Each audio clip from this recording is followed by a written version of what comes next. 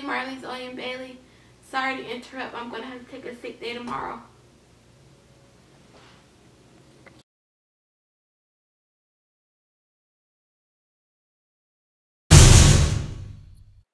Pet parents don't take sick days.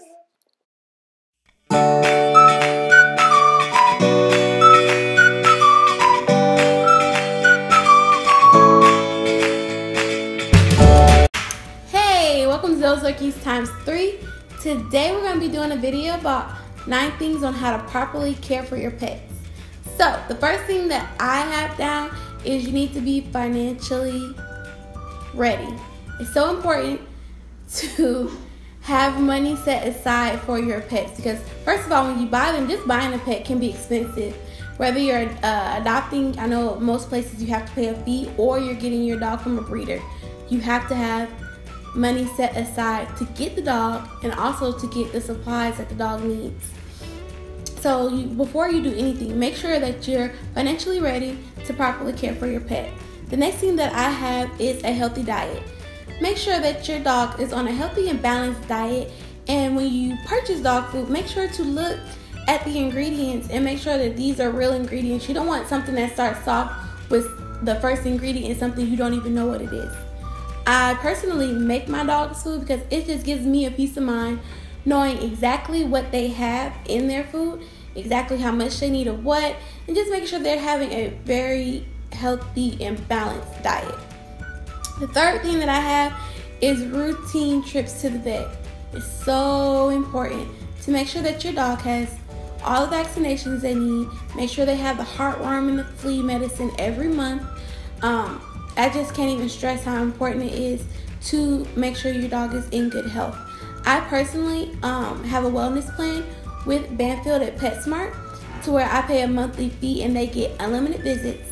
All their vaccinations are included. They get two dental cleanings a year and they get spay and neuter, all included under that fee of about it's about thirty dollars per pet, which I think is amazing because with my dogs, if I have any questions or anything's going on, I know I can call them, get an appointment. I don't have to come out of pocket. Set for to pay for the medicine, which is also discounted through my plan.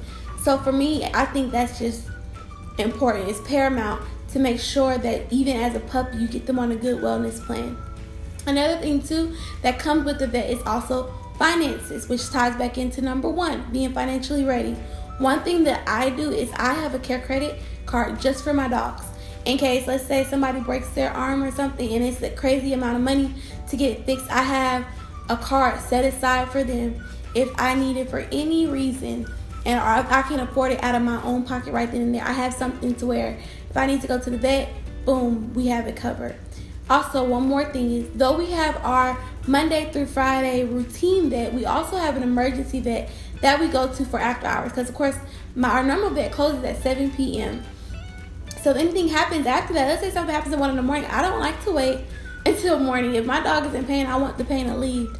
So we have an emergency vet that's 24 hours every single day that we take them to as well.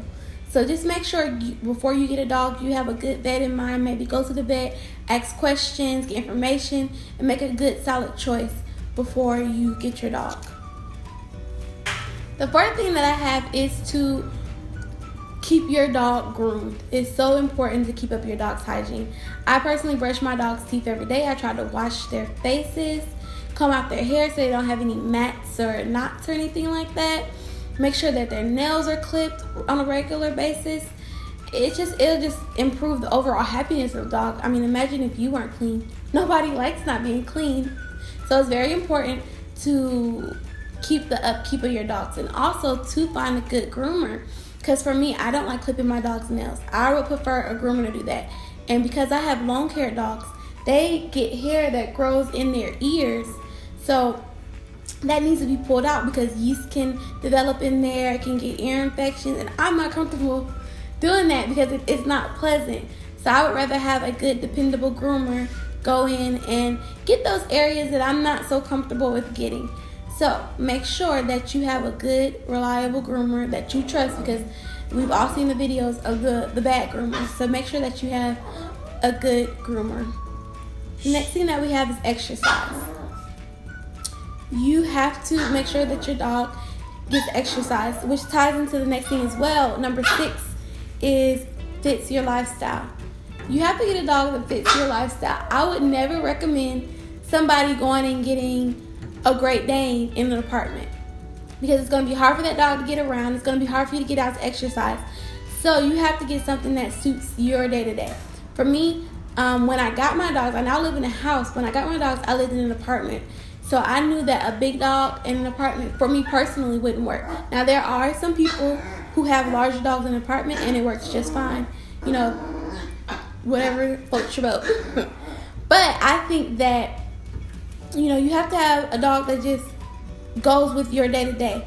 So my dogs, because they're so small, they don't have to have daily exercise. Running around the house is exercise for them. Now, of course, I do take them out uh, twice a week at least to the dog park. Um, usually we go in the summertime. We go Wednesday evenings and Saturdays. Um, in the wintertime, we can go probably on the weekends. Most likely, we go Friday afternoon and Saturday, just to make sure they get to the dog park. They run around, and they have a big track at the dog park that you go around, I think it's like four times it's a mile, and we'll do that to maybe they'll walk two miles to get a good amount of exercise. So just make sure that the dog fits in with what. If you're very active and you go hiking and running, you don't want a Yorkie because you're going to wear them out really quick and probably end up having to purchase a stroller. So just get something that just fits in with you. Uh, I know I keep saying that. Um, so the next thing that I have, which would be number seven, is training. Training is not only a fun activity for your dog; it's a good way for them to exercise their brain, but it also can be very it can be life saving.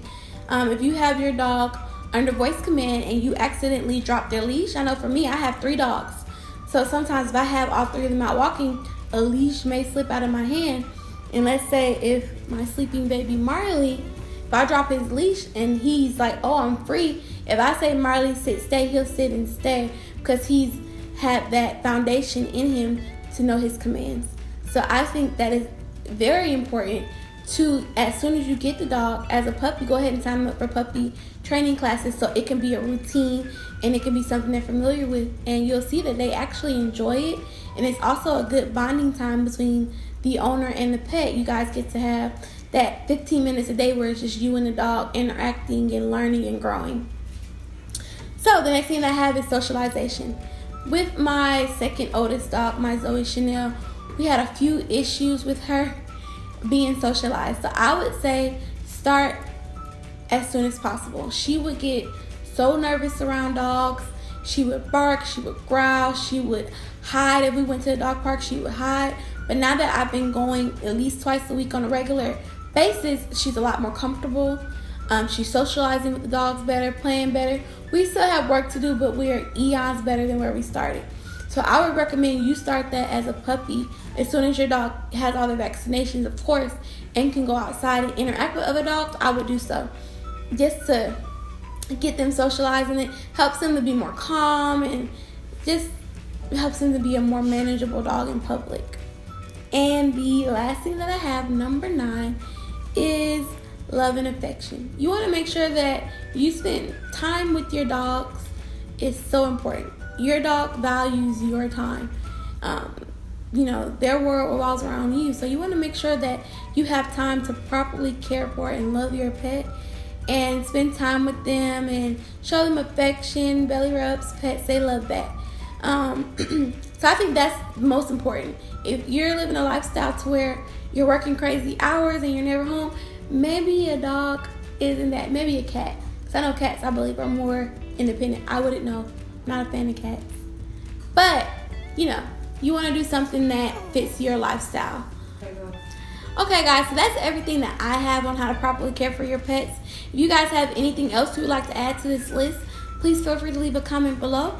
Or if you have any suggestions on a video, also go ahead and leave a comment below. Definitely like to thank you for taking the time out to watch our videos today. Don't forget to like, comment, share, and subscribe.